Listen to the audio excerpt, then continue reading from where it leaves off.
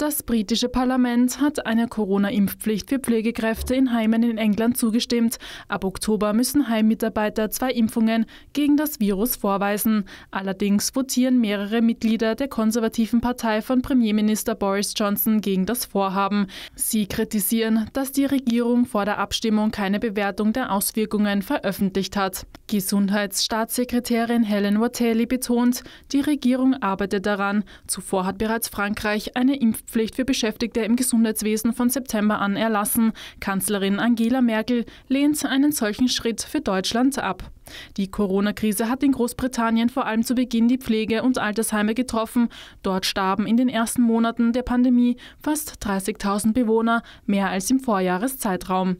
Staatssekretärin Watelli kündigt Richtlinien an, Sie sagt, dass Heimbetreiber impfunwillige Beschäftigten eine alternative Arbeitsstelle anbieten können. Es gebe allerdings nur wenige Jobs in der Branche, die ohne Impfung möglich sind. Pflege- und Ärzteverbände hätten vor einer Impfpflicht gewarnt. Auf ohnehin stark unter Druck stehende Branchen käme damit weitere Probleme zu.